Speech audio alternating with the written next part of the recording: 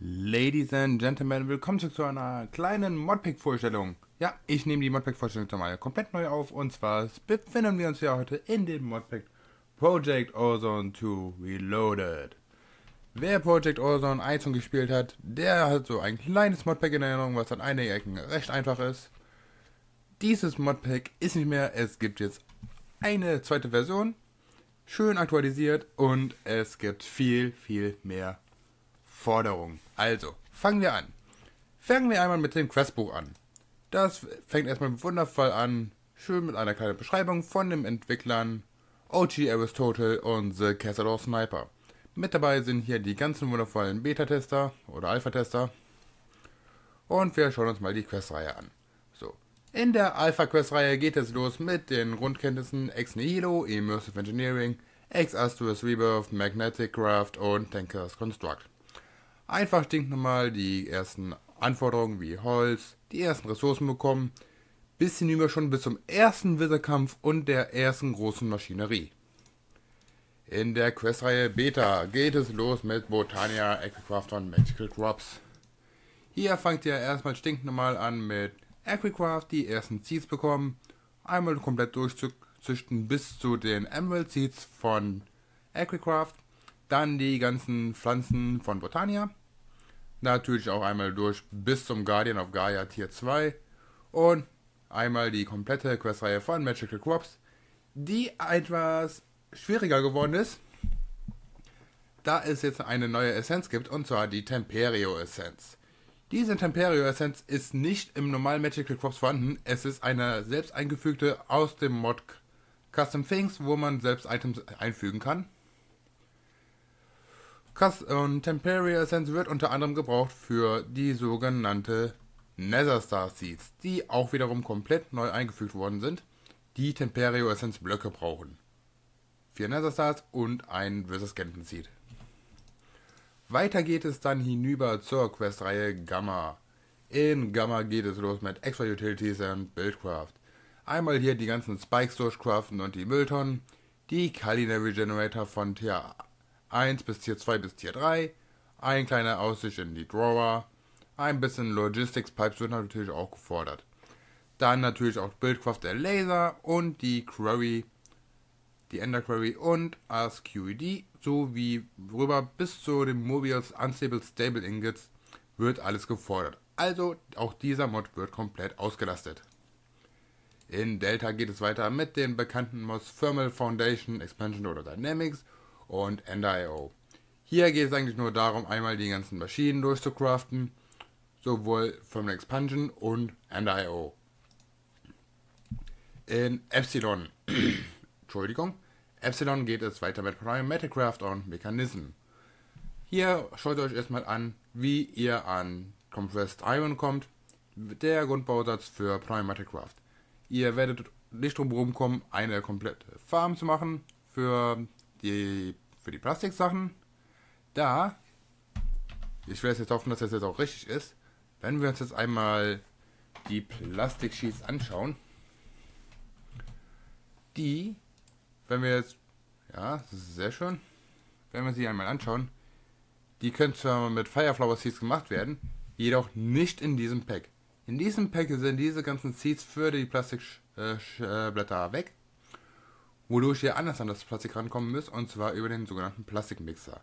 Ihr braucht dafür alle drei Farben und Liquid Plastic. Liquid Plastic bekommt ihr ganz einfach über den Thermopneumatic Processing Plant mit Kohle und LPG und LPG kriegt ihr auch in der Thermopneumatic Processing Plant aus Gasoline. Und Gasoline ist nichts anderes als Öl in der Refinery. Dieses Pack also fordert Pneumatic schon mal auf eine ganz neue Ebene. Mechanism hat sich nicht wirklich viel verändert. Das Einzige, was hinzugefügt wurde über den Mechanismenweg, ist Demon Steel Tier 1. Da Aura Cascade dieser Mod hatte damals schon, war schon Project Ozone 1 dabei. Der hatte das sogenannte Angels, Angel Steel oder Angel Iron hinzugefügt. so. Dieser Mod ist leider nicht mehr weiterentwickelt worden, weswegen es jetzt Demon Steel gibt, was gemacht wird aus Temperia Essence, das einfach gebraten wird. Und das kann man dann immer schön weiter craften. So Series the Second, Third und so weiter und so fort. schauen wir uns mal an, was in Zeta auf uns wartet. So, Zeta hat die Mods Solar Flux, Quantum Flux und Mindfactory Reloaded in sich. Solar Flux, wer es nicht kennt, sind diese wundervollen Solar Panels, die dann raufgehen bis Tier 11, die dann schon ein bisschen teurer sind, aber auch dafür ordentlich Saft drüber bringen. So 262.000 F pro Tick kann man mal machen. Mindfactory Reloaded sollte eigentlich jedem, der schon mal mit Mods gearbeitet hat, schon etwas sagen. Ist ein ziemlich bekannter Mod, der den unter anderem den Laser Drill, Grinder und die Deep Storage Units hinzufügt. Jedoch Quantum Flux ist ein etwas unbekannterer Mod, würde ich behaupten. Der wundervolle Sachen wie die Battlesuit, hier diese wundervolle Waffe der Eviscerator und unter anderem auch Imaginary Time Block hinzufügt.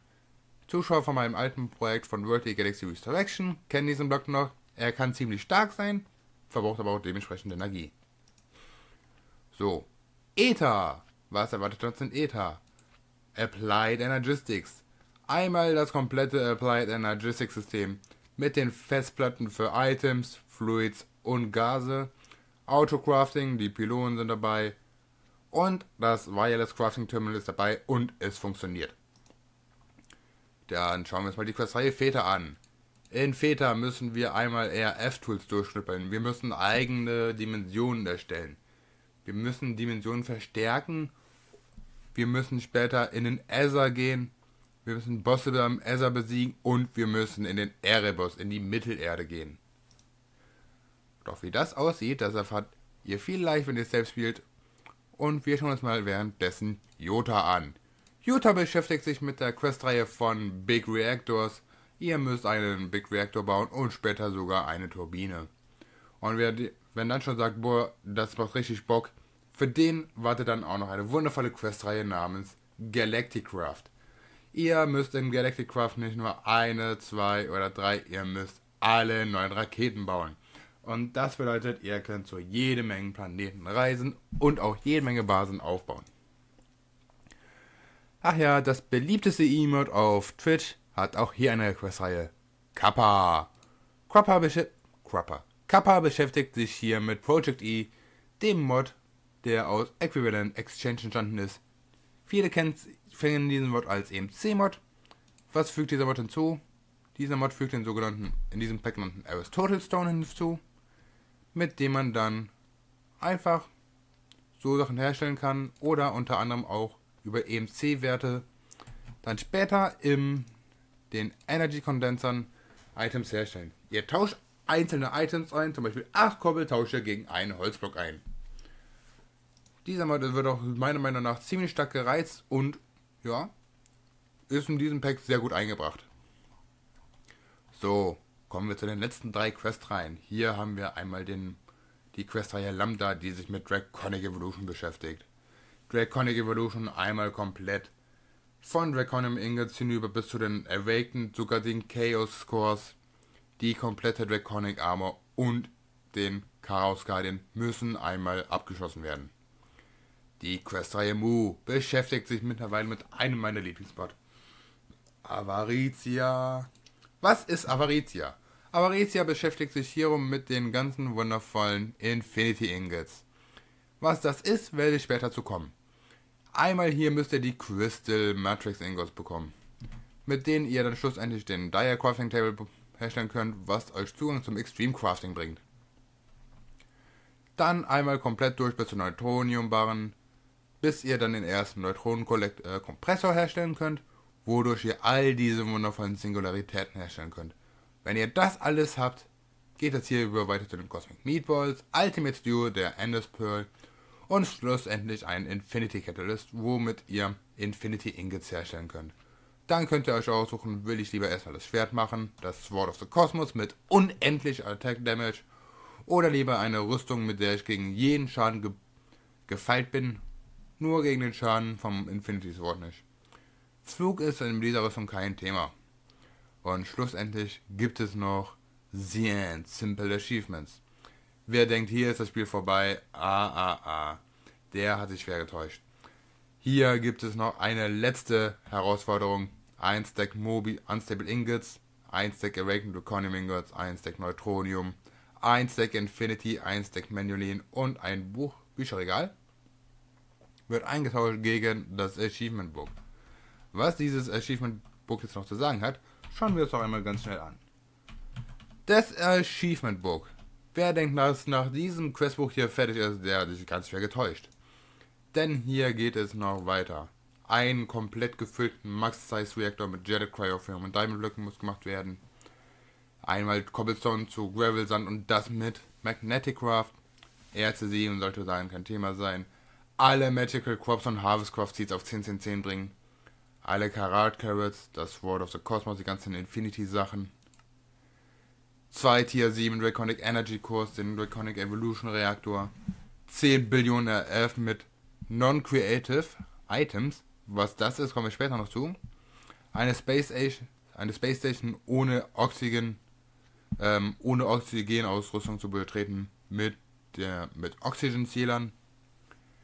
Ein komplett selbst äh, boy, gerade kann ich nicht wirklich reden. Ein komplett selbst sich versorgenden Fusionreaktor von Mechanismen. Wir müssen ein Dimlet, ein Wizard Boss Dimlet genug RF hinzuführen. Das Dragon Dimlet muss hergestellt werden. Es gibt genug zu tun. Jetzt hat man gerade gesehen, was ist denn hier Titan Mode und Kappa Mode. Dazu kommen wir jetzt. Denn wem das Ganze jetzt noch zu einfach ist, das ist ja noch stinknormal. Es gibt noch die Möglichkeit, eine Creative Energy Cell zu craften. Ich muss mich da noch dran gewöhnen. So, die gemacht wird aus Infinity Ingots, Enderium Blöcken, Redstone Singularities und einen Infinity Block. Dann kann man während, wenn man sagt, okay, ich möchte noch eine ein Creative Energy Cell von Applied Energistics craften, ist auch kein Thema. Das ist aber so grundlegend alles, was in diesem, in diesem Modus die Creative Sachen zu tun haben. Wem das aber wirklich noch alles viel zu einfach ist, der hat die Möglichkeit per Command slash ftb mode set Titan das Ganze etwas zu erschweren. Na, Titan wird ist englische Schreibweise, wird klein geschrieben. Ein kurzer Lag und Game Mode Set to Titan. Was hat sich verändert? Wenn wir uns jetzt generell mal die Creative Sachen anschauen, es geht jetzt einiges mehr. Die Creative Energy Cell hat, hat sich erschwert. So, sie besteht jetzt aus Lumium Gears, Red Gem Wafer, White Gem Wafer und Blue Gem Wafer, Redstone Singularities, Heat Kabeln, Titanium Wafer und Creative Infinite Energy von Magnetic Craft, die hergestellt wird aus Chaotic Cores und einer und vier Tesla Coils und Neutronium Ingots. Hier geht es aber wiederum noch weiter, denn es besteht die Möglichkeit, einen Creative Portable Tank zu craften, der hergestellt wird aus 20.000 Resonant Portable Tanks im Neutronium Kompressor. Des Weiteren kann man für die Turbine von Big Creator einen Creative Steam Generator herstellen der hergestellt wird aus vier Ludicrite Ingots, vier Infinite Water und einem Chaotic Core. Ist schon schwierig, aber auch nicht allzu schwierig. Schauen wir uns nochmal währenddessen hier weitere Rezepte an. Die Infinite. Das Wort of the Cosmos ist schwieriger geworden, braucht jetzt Large Chaos Fragments, Infinity Ingots, Dark Solarium und Vibrantium. Demon Spirit of the 11th Magnitude ist auch dabei. Der Angel Ring ist auch etwas schwieriger geworden, und die ganzen Project E Sachen sind auch etwas schwieriger geworden. Fangen wir einfach mal an mit dem Aristotle Stone. Der Aristotle Stone baut. Ich werde jetzt auch heute nicht mehr lernen, ne? Der Aristotle Stone braucht schon mal einen Nether Star, Fluix Pearls, einen Metacondenser, Terrasteel und Elementium, Fluix Blöcke, Molecular Assembler, Emittance Cable, Logic Prozessoren, zwei 128 hoch 3 Special Components und ein Draconic Flux Capacitor. Wer jetzt denkt, das geht ja noch, sollte sich einmal auch die Logic-Prozessoren anschauen, wie die hergestellt werden. Diese brauchen Pulsating Chipsets, die hergestellt werden aus einer Enderperle und einem Redstone. So, hat man dies geschafft, schaut man weiter zu den Tabellen von Project E. Einmal der, wo haben wir Einmal das Transportation Table. Och Mann, oh. mache das mal gerade ganz einfach. Global. Na. Inventory. Recipe Mode. So. Hätte schon vorher machen sollen. Transportation Table wird hergestellt aus Dark Matter Blöcken, Temperio Essence Blöcken, Pokefenium Large Plates, Refined Glowstone Crystal Matrix Ingots, Flux Infused Obsidian Rods, einem Demon Steel of the Sixth Magnitude, Eternalis Fuel, Unstable Ingots, Enchanted Gravitite, Infinity Stars, welche 40.696 Nether Stars sind, und einem ganz besonders neuen Block namens Sexy, das einfach nur ein Compressed Cobblestone gebraten ist. Hat man das geschafft, geht es weiter zum Transportation Tablet. Das Transportation Tablet ist schon wieder um einige Ecken schwieriger. Einmal Draconic Energy Cores, Mobius Unstable Stable Ingots, Infinity Stars, Advanced PCBs, Manual Ingots, Generator Blöcke, das Transportation Tablet, Experience Book Level 5 und so weiter und so fort. Ihr merkt schon, dieses Modpack bietet einiges. Wenn wir uns jetzt mal hier weiter anschauen, was es so, so alles gibt. Die Draconic Armor wird jetzt gebaut für die Infinity Armor. Und das auch nicht so sehr wenig. Dann der Staff of Anime, der Wand of Animation, Entschuldigung, ist natürlich auch dabei. Baut Demon Steel of the 10th Magnitude, Infinity Ingots, Golden Singularities. Schauen wir uns noch einmal einen Infinity Ingot an. Hergestellt aus elf von diesen Infinity Catalysts. Ja, ich weiß, ich sage elf, nicht elf, elf. Elf Infinity Catalysts, die hergestellt werden aus all diesen wundervollen Materialien unter anderem Dark Matter Blöcken, Temperio, Crystallized Redstone, Chance Ecosaedrons, Awakened Draconium Blöcke, Gaia Spirit Ingots und Singularities und so weiter. Wer sich jetzt fragt, was das für ein wundervolles Item ist, das ist eine sogenannte Eternal Singularity, die hergestellt wird aus diesen Singularities. Dafür braucht ihr nur Cyanide Singularities, Nickel, Redstone, Electrotine, Peridots, Emerald, Diamond, es gibt genug zu tun. Weil jeder dieser Singularitäten wird aus 43.794 Blöcken von dem jeweiligen Item hergestellt. Wer jetzt immer noch sagt, ja, ist schon eine Herausforderung, aber ich will es immer noch schwerer, gar kein Problem. Es gibt nämlich noch einen dritten Game Mode und zwar den Fitzbeast Mode Set Kappa. Kappa ist so gesehen der ganz, ganz große Bruder vom Expert Mode von Infinity. Wenn wir uns jetzt mal einige Rezepte anschauen, fangen wir doch einfach mal mit meinem Lieblingsitem an. Mit meinem Lieblingsmod, der ME-Controller. Der ist jetzt ein klein wenig schwieriger geworden. Man braucht jetzt Osmium Crystals, Concentrated Cloud Seed Buckets, Pure Fluix Crystal, ein Machine von Resonant und ein Skystorm Block. Ja, schon schwieriger. Wenn wir uns jetzt mal den Aristotle Stone anschauen. Ja. Ist ein bisschen schwieriger geworden, ne? Dark Seal Bälle, Molecular Assembler, Thorium Rods, Energetic Alloy, Demon Steel of the 8th Magnitude, ein Soul Crystal, der, die man aus dem Erebus bekommt, Energetic Alloy, Enchanted Gravitite und Spirit Binder, die man schnell mit Gaia Spirits und da und Ektoplasma hergestellt wird. Schauen wir uns mal kurz die Creative Sachen an. Wenn wir uns jetzt mal die Energy Cell anschauen.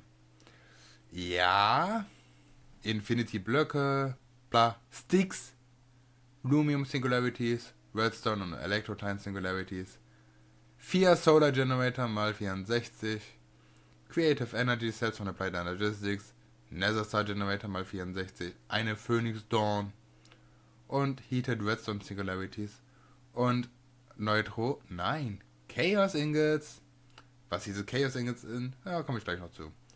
Und wer schon immer einmal geträumt hat von einem Creative Kompressor, das ist gar kein Thema mehr. Man braucht nur einen Creative Portable Tank, Advanced PCBs, 4096K ME Gas Storage Components, Black Plastic, Compressed Iron, Crystal Crystals, Transistoren und Advanced Air Compressor. Und schon wieder diese mysteriösen Chaos Ingots. So. Wer sich jetzt fragt, ja gut, der Creative Portable Tank hat er sich aufwendet. Natürlich hat er sich verändert. 20.000 Resonant Portrait Tanks ist auch ein Klacks. Machen wir das Ganze mal ein bisschen schwieriger. wir brauchen Chaos Ingots schon wieder, Neutronium Ingots, Infinity Ingots, Resonant Portable Tanks, eine Bedrockium Drum, zwei Food Storage Portbusse, Zero Tanks, Ender Tanks und Super Laminar Fluid Ducts. Wie sieht das mit den Infinity Ingots aus? Die sind doch jetzt auch schwieriger geworden, ja, oder? Das Hauptrezept für die Ingot, nein. Der Catalyst, ja. Der Catalyst ist an einigen Ecken schwieriger geworden, aber immer noch schaffbar. Also hier, hier die MSG-Pill, ein Slime Ball, Red Rotten Flash und Sugar. Wenn du die Singularities hast, dann hast du das wohl auch. Wer sich jetzt fragt, warum das Rezept hier so ein bisschen sehr, sehr einfach ist, das machen wir jetzt mal ganz einfach. Wir schauen uns mal den Infinity Catalyst an. Hier eine wundervolle Asgard Dandelion. Einfach Creative Mana, einfach aus dem Nix. Ui, Transportation Table. Hä? Man braucht einen Bedrock? Ja, genau. Bedrock kann hergestellt werden aus neuen Block auf Bedrockium. Ultimate Furnace, ein Clarks einfach hier ein Extreme Furnace und ein Civicio Furnace. Das ist ja alles kein Thema. Compress Gaia, wer träumt nicht davon, sein, seine Basis mit einem Block aus Gaia Spirit Ingots zu dekorieren. Aber wenn wir jetzt mal hier weiterschauen, was es noch so alles gibt. Ach ja, Creative Infinite Steam. Kann man mal machen. Was ist denn das? Ein Chaos Catalyst? Der Chaos Catalyst kann man ganz einfach herstellen aus einem Infinity Catalyst, allen Blöcken von Magical Crops, mit den Wizardproof Blöcken, Uranium Rods, Thorium Rods, eine Turret Base Tier 5, einmal alle Rafer, alle Chipsets einmal. Ja, es gibt genug zu tun. Und wenn man diesen Chaos Catalyst hat, geht es dann weiter zu den Ingots, die mit schnell so ein paar Infinity Ingots brauchen, Palladium Crystal und Chaotic Cores. Diese Chaos Ingots werden dann natürlich gebaut für die Creative Energy Cell, die Turbine Creative Steam Generator, das Wort of the Cosmos, der Creative Portable Tank, der Creative Compressor. Ja, es gibt genug zu tun. Wer das Ganze einmal dann selbst spielen möchte, selbst erleben, der sollte sich mal ganz schnell den Cursor unter downloaden und dann über den Minecraft-Tab das Modpack Project Ozone 2 herunterladen. Ich hoffe, diese Modpod, Modpack, Modpack-Vorstellung hat euch gefallen und ich würde sagen, ich wünsche euch schöne Feiertage und viel Spaß beim Zocken.